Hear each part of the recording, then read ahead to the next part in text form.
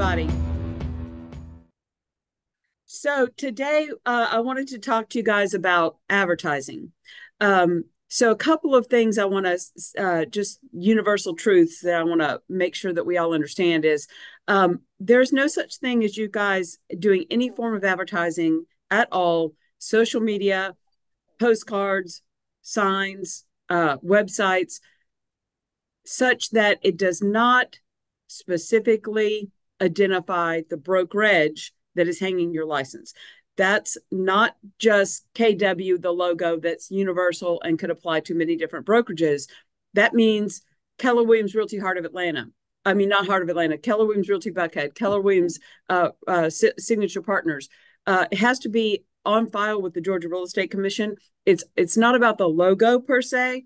It's about the name, such that if a real estate commission investigator were to look at the marketing piece and you are identifying yourself as being in the real estate industry, as being uh, promoting yourself in any way, shape, or form as being a real estate licensee, real estate agent, you must include along with your name, this is on every single solitary piece of advertising, the name of the firm that holds your license.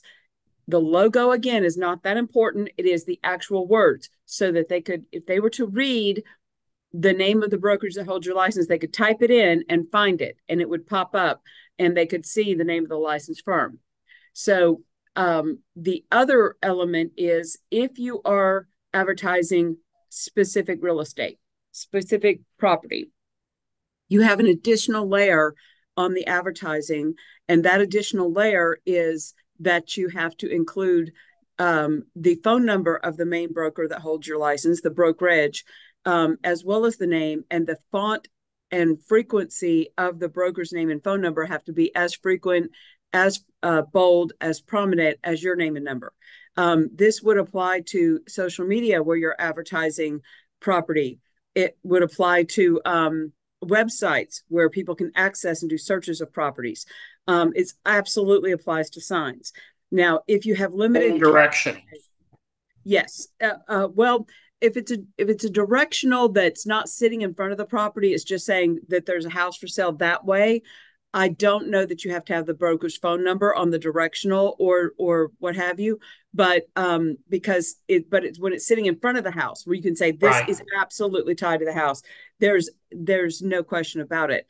But I would say social media is the number one area where agents make a mistake they advertise themselves on their personal Facebook page, but then they end up using that or Instagram to promote themselves as an agent. Or even worse, honestly, they um, will advertise their team name, and your team name is not licensed. That team name is not a licensed entity. You're the licensed entity, but suppose that team name is incorporated so you can get paid uh, your commission to that same name um, I've seen agents actually get charged with practicing as an unlicensed firm because they happen to have that team name also as an LLC, which is perfectly fine, perfectly fine for you to have that team name. It's when you are advertising that business and that team name as your team as if it's its own real estate company to the public and you're not saying this is a team with Keller Williams Metro Atlanta. This is a team with Keller Williams Signature Partners. This is a team with Keller Williams Realty Buckhead that's when you become it becomes a huge problem. Now in the license law uh, rules it says that if you have limited character space you can provide if it's online advertising you can provide a direct link. And when people open that direct link if that's compliant then then you're okay. But um, so that's only that exception only exists when it comes to online advertising. And then the other part that you guys need to put into practice is you need to be very, very familiar um, with um, how to get a hold of me and Tom because we're going to be able to um, approve your advertising. And again, if you ever get investigated by the Real Estate Commission for an advertising infraction, they're going to ask you, um, "Did you um, did you uh, send this?" They're going to ask us as the brokers. Uh, did they send this to you for approval before they published it or put it online? And if we can't find um, proof that that happened, we have to uh, answer honestly and say no. So let us you know be a participant there let us help you by just emailing us i just put it in the chat broker at heartatl.com and uh, just send these things to us and let us bless it and give our opinion and i've had uh, uh, in the past and uh, guys on the uh, on the zoom call i've had calls from uh, the georgia real estate commission where an agent changed their signage and it wasn't compliant um, mm-hmm. at all. And they had to spend, I mean, like eight thousand dollars yeah. to redo everything, including their website. Um, and it doesn't matter how long you've had your website. I've had another agent uh, in the Decatur Market Center, and she'd had her same website for like 15 years, and suddenly got investigated and had to go through and make all these changes that were very costly to her website. So, um, you know, just FYI, uh, I, let us I've be seen it. with you on that. Yeah, absolutely. Because I've seen it happen to extremely successful agents. And sometimes the person complaining that's uh, notifying and turning you into the real estate commission is a, uh, actually, a lot of the time, it's a fellow agent that's either jealous or angry, or you ticked them off in a co op, or you guys had some sort of a ugly exchange and now they're going to get back at you and uh, I had one of my largest teams had 76 members, and they ended up with um, like a two or three thousand dollar fine, but they ended up spending about ten, twelve thousand dollars in redoing all their marketing because a jealous competitor reported them. And while 90% of the things they had were compliant, they had an exterior sign on their uh, team office that wasn't compliant. And what happened was and I've had this happen to other agents, all of their social media had to be taken down. Their website had to be unpublished. Um, it, it cost them so much money and business. And the team leader told me, he said, I would have struck a check without even batting an eyelash to the real estate commission and done everything I could to have gotten compliant just to have prevented myself from the hell I've been through for the past four or five months. Yes, uh, I see a hand up. Thank you so much, Angie. So, uh, is it too late? So, uh, what about the past post on Facebook? I may violate some of those stuff. I always have the logo, but not always have the name written. But most of the time, I share the link. Is I put the link now in the comment below for all the previous posts this will make me say well i mean eh, you know if you have an old post that's not compliant my advice would be especially if it's advertising a house that's no longer available you really need to just take that down. Um, i mean if you can delete things that are outdated that would probably be best um, you know, and you're really supposed to keep things updated. So having old posts about old houses that are no longer available, if you have control over that, you're really supposed to take that down. We're not supposed to um, have uh, um, things out there that aren't accurate. We have like a 10 day time frame. If we have control over that media, if we have control over that website and control over that media, we're really supposed to update that to show that it's under contract or that it's no longer available and not just have it out there um, indefinitely. So I, I would clean it up, but anytime you're not compliant, the key is get compliant. They do actually look at that. Is if in the past you weren't compliant, but now they can see you are compliant, that goes a long way. Um, and, and again, this is not something the real estate commission is not out there um, uh, trolling around looking for people's sites. They are you know they're waiting they're they're fielding hundreds and hundreds and hundreds of complaints that come in and sometimes it could be an angry client but i would say when it comes to advertising violations it's almost always competitors i'm just being honest yep. with you it is yes yep. thank you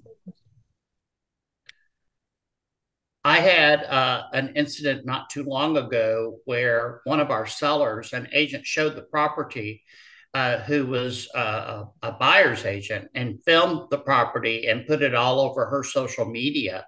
And the seller had a fit. Oh, and, I've had, we've had people threaten to sue for that. Yeah. Thank I mean, you for bringing that up. And uh, so I had to work with the other broker. And let me tell you, this agent took it down on some places, didn't take it down on other places, and they were on top of it. I got calls for uh, weeks about that until everything was taken down. So, uh, long story short, don't ever go in and um, film somebody's listing or take photographs for your social media because even though the agent may say it's okay, the consumer correct probably won't like that. Well, and Tom, uh, you bring up a wonderful point here, and I'm so glad you brought that up because I hadn't thought of that. But that that is a huge problem. You know, guys, I will say this again and again and again. It's 25 years. I'm still saying it. Rule number one is don't take advice from other agents. That means don't just do what you see them do. Okay, this thing we were just discussing on the industry update about the um, NAR lawsuits and the commission compensation lawsuits and the class action lawsuits that was the worst case of widespread breaking of rule number one, where agents were engaging bad practices that other agents were engaging in, and this has caused these massive, uh, um, uh, widespread class action lawsuits. Well, same thing here, guys. Just because you see agents doing things on social media and posting stuff and it seems like that's okay it's not okay and i'm telling you i as a broker um, even before i was fortunate enough to work here I was fielding all kinds of crazy complaints. We had this one lady, um, couple people doing like random photo shoots and doing uh, things to promote themselves as agents using people's beautiful homes and scheduling fake showing appointments that didn't exist and going in there and and and um and and doing like little uh scripted out little uh commercials for themselves and I'm telling you, that is not the reason you've been issued a lockbox key you are violating so many things by going in there. You do not have that seller's um, permission to advertise. Okay, so that's a violation, and um, and then you're also using a lockbox key in a in a in a way that it was not intended. You're saying that you're coming in to show a property to a prospect, and you're not. You're going in there to film and and and this and that. One in one in particular, um, somebody was filming a reality show, and the person was dancing on the countertops. Another one, a uh, uh, an agent I heard about, this made the news, was uh, uh, doing a photo shoot and had a makeup artist and a photographer in someone's home and was basically using their beautiful home to do her photo shoot. And um, the seller saw them on the Zoom camera and confronted them. And it got really ugly, and the police were called. Um, I had another incident where an agent was making comments previewing um, um, uh, a house that they were uh, claiming they were previewing for a client, and they were kind of dogging the decor and making comments and even picking up personal pictures of the person that owned the home. And I'm just telling you, you see that kind of stuff out there, guys.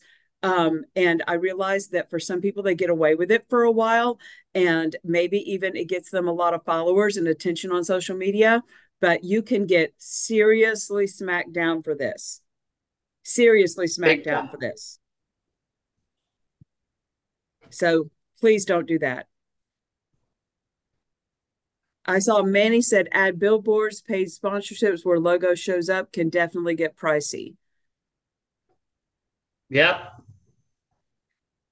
Yeah, so we've got to be yeah, we got to be careful. Just when in doubt, email broker at heartatl.com and let Tom and I uh, vet it and let us help take on that responsibility for you because that's really a huge part of our job is to kind of um, uh, offer that advice. But we can't do it if you guys don't include us and if you don't help us make it a we problem. It's really not a you problem it's a we problem. We just need to know what our problem is and we will help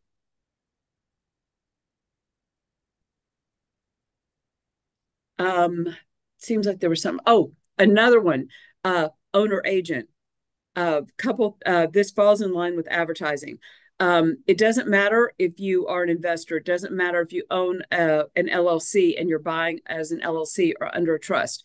Um, this kind of goes in line with the advertising. If you're a principal a buyer or a seller you are going to you are an owner or going to be the owner of the property that you have under contract or putting in an offer the uh, rules of the real estate commission require that you notify us again broker at heartatl.com prior to putting in any offer, prior to listing that property, prior to leasing a property that you own.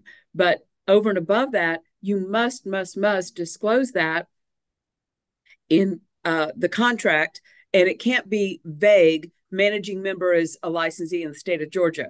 if you are the managing member, you need to say buyer agent is a managing member of the LLC that, uh, that, you know that's purchasing the property. It needs to be very very clear, and um, ideally also uh, quote your license number. It has to be super duper clear.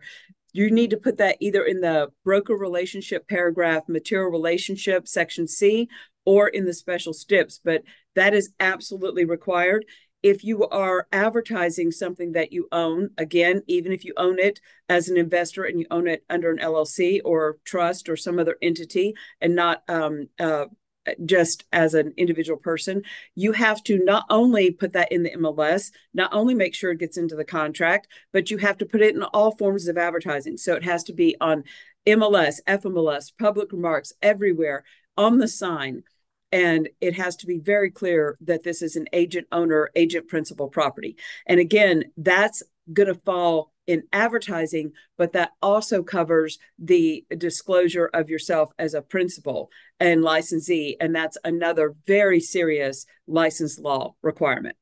Yeah.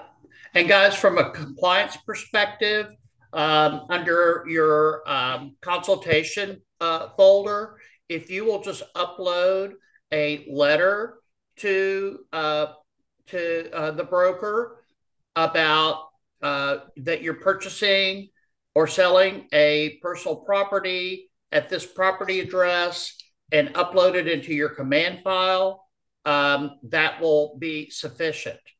Perfect. Uh, and secondly, uh, for those of you who do not know this, because I've had to clean up some uh, messes, um, is that if you're buying or selling a personal property, must be your primary residence, you the FMLS fee is waived. But what you have to do is you have to get with me, give me your a copy of your settlement statement, and there's a form that I have to fill out when you close on the property, and it's all automated in uh, their system that I will send in on your behalf and um, get the that FMLS fee waived. Again, not for uh, uh, uh, investment property, only if it's your primary residence that you're buying or selling. That fee will be waived. So if you will um, let me know when that happens um, and upload that letter in your compliance folder, then I can get that fee waived for you uh, but I've had some people who didn't really know that. And uh, six months later, we're trying to get reimbursed uh, for that agent in FMLS fees. And um, it's just, it's almost impossible to do so. Are there any questions about that? Okay. Any questions at all about advertising rules or any confusion? How many of you guys see people out there on social media that you're pretty sure they're with a big name brokerage but on their social media they're just advertising their name and they're and that they're in the business or their team name? I see it a lot all the time. All i the see time. it a lot. Yeah. But but see natalie that kind of goes to that same point of rule number one so just because we see other people getting away with it doesn't mean that we need to get away with it because it's only a matter of time before um, before uh, that can end up coming to bite you. And so just because other people want to do stuff, and and and I say this thing with the you know with the conversations that um, uh, agents were having, listing agents in particular, were having across the board. And there was massive sting operation uh, and inv- undercover investigators that went out and posed as sellers before all these lawsuits happened, which now resulted in this uh, these uh, class action lawsuits over um, uh, brokerage compensation. And I'm just telling you guys, there was a massive amount of rule number one being broken. And this is something we see again and again in, in, advertising and advertising violations. And I don't want you guys. Uh, Carlin, you have your hand up, and then after you, Will has his hand up. Uh, yes, thank you. Um, I had a question about Facebook groups. Um, there is a Facebook group in my neighborhood that is has been put on by a realtor. She's not letting any other realtors in, but she's not advertising it as a um, she's advertising as a social group, not as a networking group, but she's made it clear that this is what she wants to do. Is she required to put any of this information on these Facebook posts, or how does that work? Well, I mean, again, if she's advertising, uh, now people can have private groups and we can't stop people from having private groups. But if she is advertising uh, that she is in the real estate business, then she would need to be compliant on any advertising where she's in any way identifying to people and holding herself as out as being a real estate professional rather than this is just my personal Facebook page but I'm a real estate professional and I'm advertising that I am that providing those services and this is what I do for a living then uh, again that I don't know how she's advertising if she's just saying that this is you know me as someone who lives in this neighborhood but again if she's advertising herself as being um, being in the um, real estate business, she needs to identify, and it can be small font, but she has to identify the name of the firm that holds her license, not their logo necessarily, but the words uh, XYZ uh, Realty or whoever she's licensed with. And that that's because she's holding out to the public. Uh, it's just like me saying, um, I'm Angie, I'm Angie Realty. Well, Angie Realty is not a licensed entity. I'm Angie Meza Smith, and I'm in the real estate business. Well, I have to say who I'm with and uh, my license is with Keller Williams uh, Realty Heart of it. I, I mean, uh, um, that's my employer, but um, my license is hung with Keller Williams Realty Buckhead. That makes sense. Thank you. Appreciate and see, it. Carlin, you're making a point here because when agents are out there doing these kind of shenanigans, other agents get fed up with it and they uh, uh, screenshot, print out copies of their stuff and report them. And sometimes that's the only thing you can do because it's not going to, until somebody has some sort of consequence to pay, it's not going to, they're not going to lose their license over minor infractions, but they'll get a very nasty traffic ticket and uh, it'll probably cost them six, seven hundred dollars. And they'll make them shut down all their social media and, um, and they'll analyze every, all the practices they're engaging in. It's not pleasant we get we get uh, screenshots all the time from consumers and from other agents that we have to address. Yep. Will, you had a question? Yeah, just actually going back to um, like marketing other agent properties. So it's not enough to just get permission from that listing agent and mentioning them in um, your social media um, Correct. Uh, well, if you have a link, Post. if you the mm-hmm. if you are going to get permission to uh, advertise, it doesn't need to be you doing a video um, and things like that. It uh, the real estate commission wants you to have a direct link to the compliant advertising. So if you were going to say get permission from another agent and promote this fabulous new listing, you are required to have a link that when the public clicks on it, it shows compliant advertising. Either it's your compliant advertising or it's compliant advertising showing that this is an XYZ realty uh, listing and that it's not actually your listing. So if you have limited space in like a social media post uh, to put like the phone number and all the other things that you would be required for a um, uh, advertising a specific property, you must have a direct link that when that link is opened, it shows the legal compliant advertising. Okay, because I know like Instagram, you can't does not support links. So yeah, interesting. That's tough. Mm-hmm. It is. Well, tough. the other thing I would say, and I've dealt with this, where the homeowner uh, was very, very upset that this agent came in and filmed their house and put it on her social media site. So I would say the best practice is if the listing agent uh, allows you to do so, they need something in writing from their mm-hmm. client mm-hmm. that says mm-hmm. that it's okay. Or you're just putting the multiple listing link with pictures or something that's the other agent's already approved advertising that that homeowner's already advertised. But when you okay. go in and make your own video, that that can be very problematic. And yeah. um and like we said, uh, w- uh, this one incident with the girl that did the photo shoot, she had, was a newly licensed agent, and she uh, set uh, set up a, a showing time appointment and went in there, brought a hairdresser, makeup artist, and photographer, and didn't realize that the uh, owner of the property had cameras and was watching this going on in this property, and he showed up with a gun, and this made the news, and of course she got fired immediately wow. and got reported to the real estate commission. But, you know, people can get crazy. I mean, people can Yeah. get crazy. Like a whole And- big production, and yeah, which is ridiculous. Yeah. but she's not the only one unfortunately There- Yeah. there's been there have been people trying to do um uh um reality shows there's been tr- people that have tried to do like little quick dance videos or act like they themselves are a rich famous celebrity by being in this fancy house and doing their own videos. And you know it, that kind of crap guys that is not you know I I'm, I know no one on this call would do stuff like that. You guys are professionals but you see stuff like that out there and it's just it's not okay. Mhm. Especially I think important for homeowners that to- own those expensive homes uh, also have, uh, and I've been dealing this somewhat on uh, on our GAR forms, where certain affluent clients do not want to disclose their email and phone number on our GAR forms, and um, so it's it's an issue, particularly in their home, you know, and so that has to be respected. Number Mhm. one, but um, yeah, it, it's it, it it can get very very problematic. Good to know. Thank you. I had a, I had a question. Manny racinos. Hola, hola. I had a question a little related to that because we do a lot of talking about, hey, go get content, get content, that kind of thing.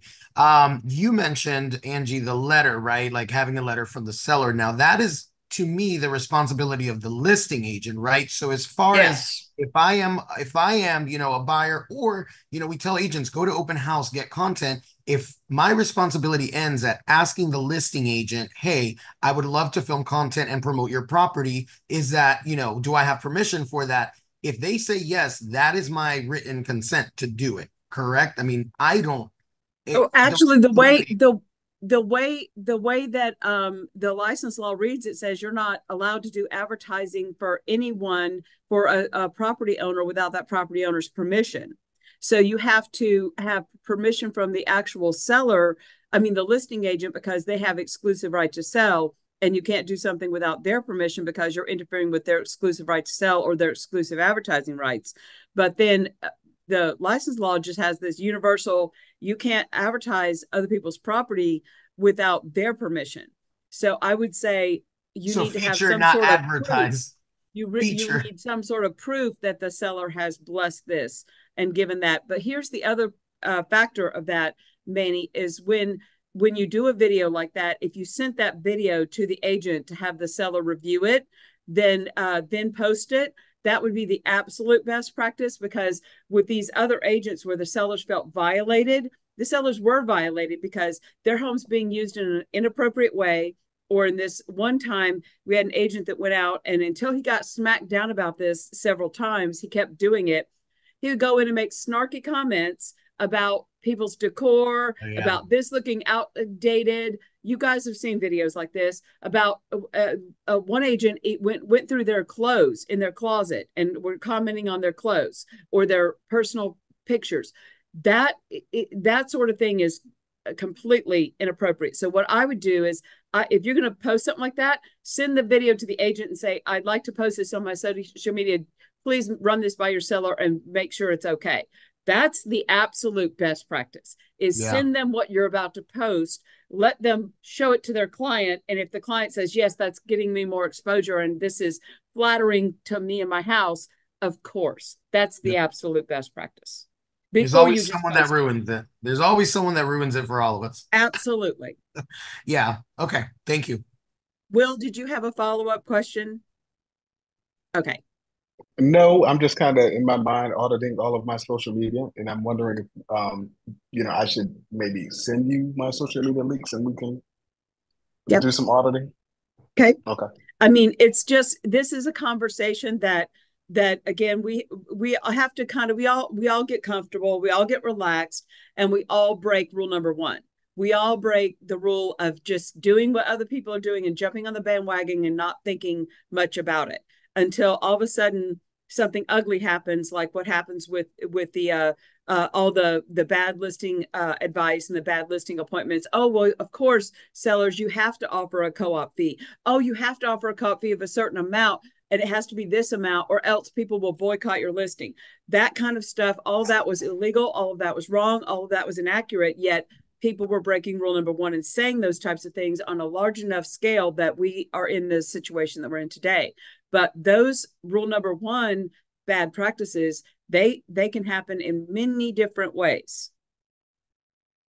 And um and and you know advertising because especially with social media we are like our own little media uh uh free uh, uh marketeers with social media. It allows us to do all this stuff very easily with uh, um, on our own and uh, be super creative.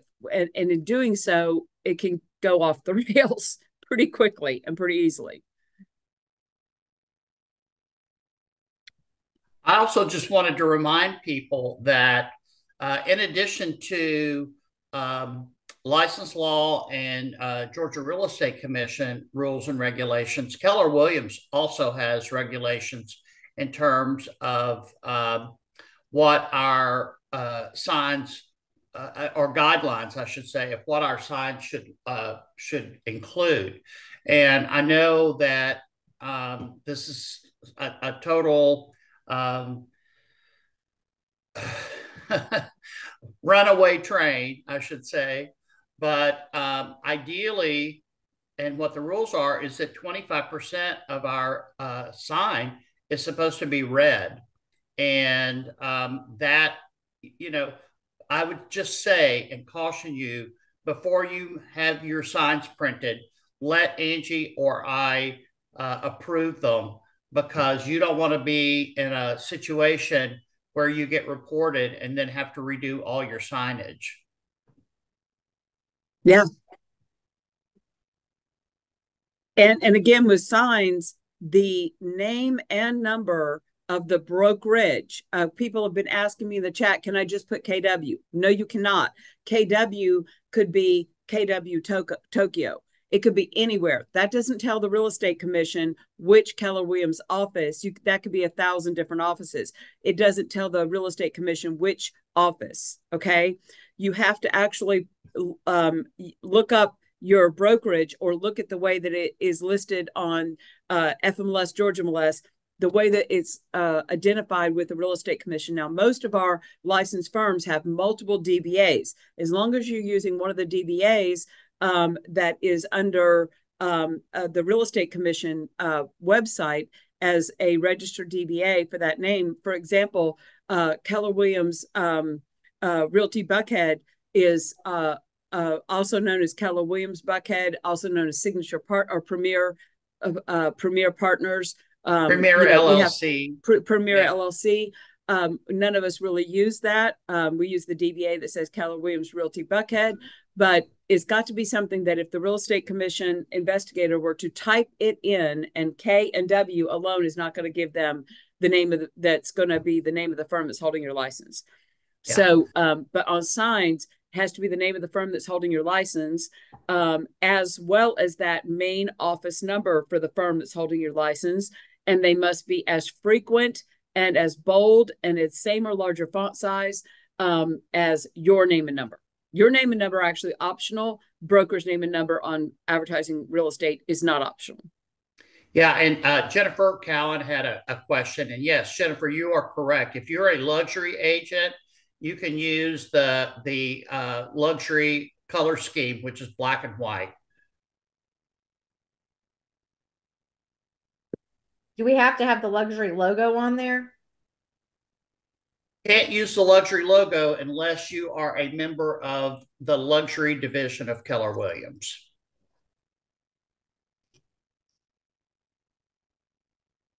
But if the luxury, uh, if the luxury logo is just specialized luxury logo and not the name of the firm uh, that is a DBA, you have to also include the name of the firm that is a DBA. So yeah. the luxury logo is just like a special branding thing over and above. Yeah.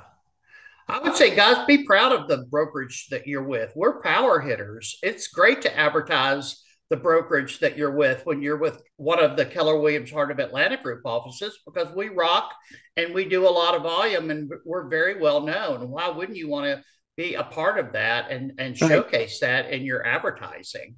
Zip, you had a question.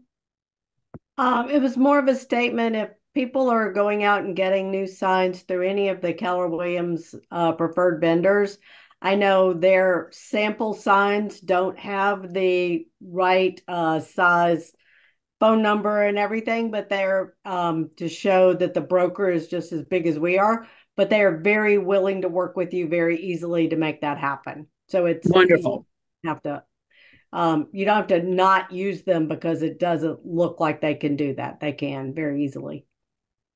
Well, thanks for bringing that up, Zip, because you know this is a international franchise company and different states have different regulations. Georgia has a very persnickety regulation on having not only the phone number uh, be there of the main brokerage, whereas in Florida, the broker's phone number is not required on the sign.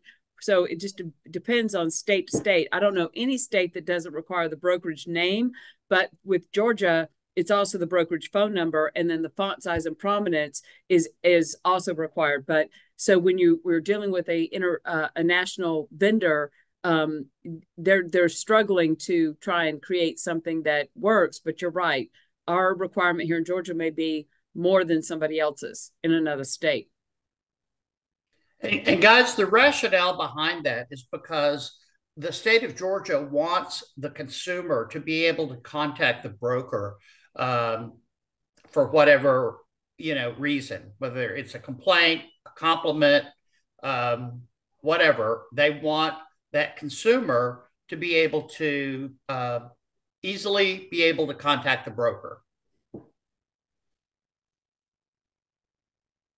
Or report the broker. Um, yes. or uh, also uh, because what was happening is agents were out there um, before this rule became really cracked down, which has been about oh gosh, Tom, what do you think about 15 years ago that they really started cracking down on this with the font size and everything? You had so many agents yeah. out there that were advertising without their broker on the sign at all, and uh, the public could not track down the broker.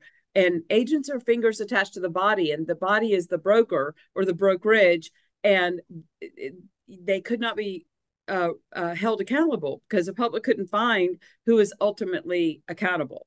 And so it's all about a, a holding, it's protection of the public and it's holding a- agents and brokers accountable.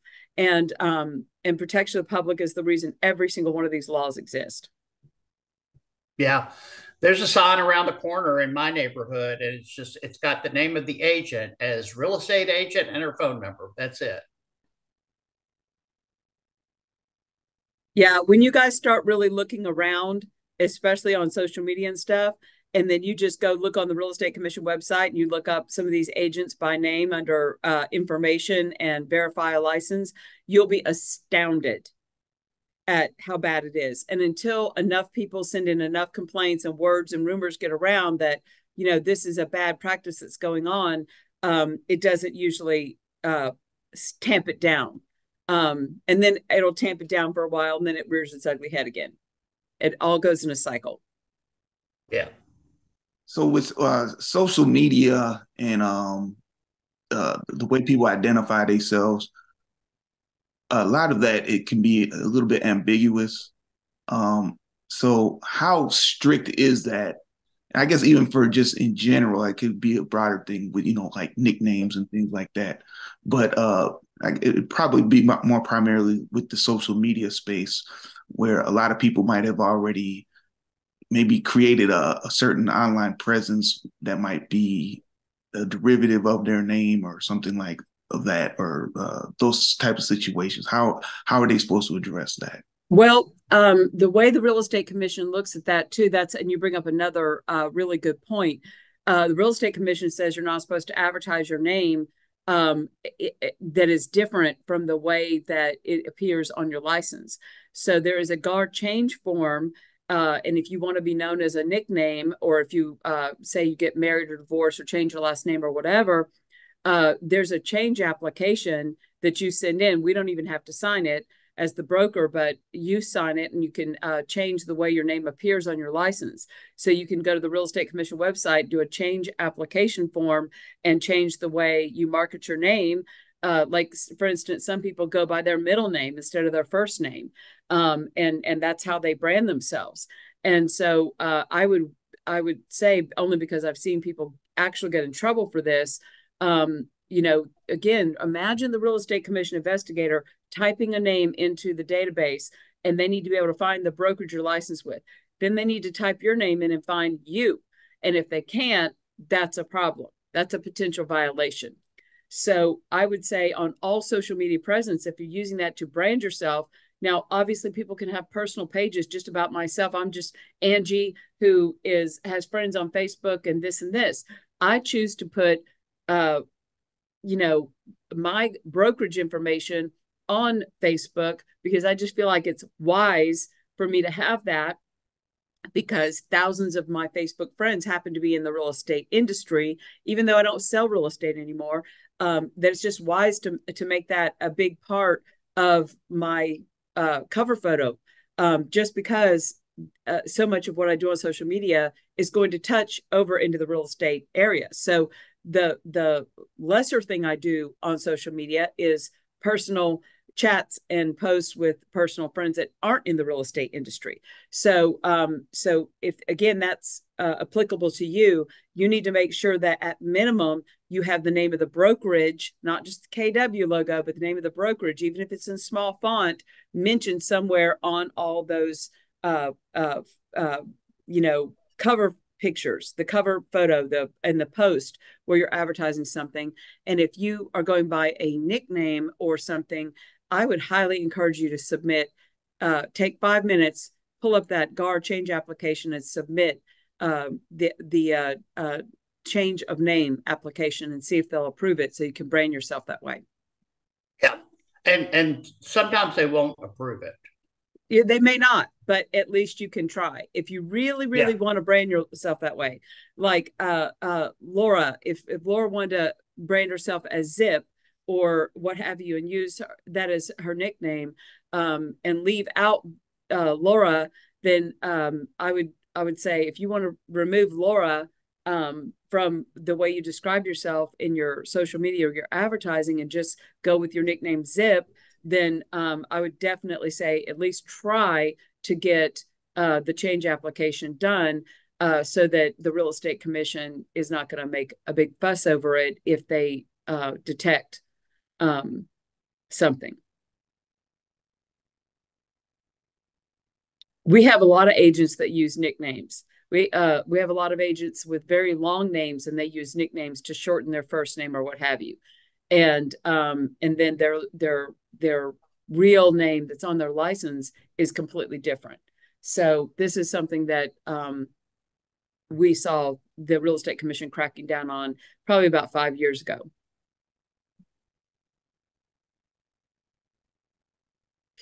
Any more questions? Angie, I will take the rest of the questions if there are any. I know you've got to get on Contracts 101 in about 10 minutes and you may yep. need a bathroom break. I don't know, but we've been on Zoom since 11. So, yes, thank you, um, guys. I'll if there are any more questions, up. please let me know. And of course, Angie, you always do a fabulous job. Same and. Um, uh, we appreciate everything you bring to the table. Oh, Thank you guys. And uh, I'll let y'all wrap it up. And I'm going to go get pre- prepared for um, Contracts 101 Part 3, talking about exhibits uh, to the purchase and sale. So anybody wants to join me on that, that comes up. Uh, we're starting that in about eight minutes. Awesome. Well, guys, if there aren't any more questions, we will. Uh, uh, I will say thank you so much for joining us today. I hope this was informative. Uh, if you're not uh, on the uh, industry update calls at 11, you should be. There's so much going on in the industry, and there was so much great conversation today uh, at 11 o'clock on uh, some of the lawsuit settlement that you're going to be hearing a whole lot about from your team uh, leaders and from your brokers uh, to uh, make sure that you are comfortable with what's going on and um, earn the money that you need to earn. So uh, I appreciate Tom, you joining Tom, us today. Tom, Tom. Yes. Excuse, may I ask one quick question? Yeah, of course. Um, okay, I'm I'm going through my Facebook ads right now to make sure I've got the information correct. But how far back do you think we need to clean up our ads? I, I would say if they're no longer relevant, they need to be deleted. If they are relevant, like maybe you're talking about, um, maybe you're trying to get home sellers. It's nothing specific to a property. It's just your wanted home sellers. Yeah, if it, if there's nothing property specific, uh, I don't, you know, there's, you can post whatever you want to post. If it's property specific, I would go ahead and clean it up and delete what's not relevant to that property anymore. Oh thank you. Thank you. All right, you're welcome. Have a good day, everybody.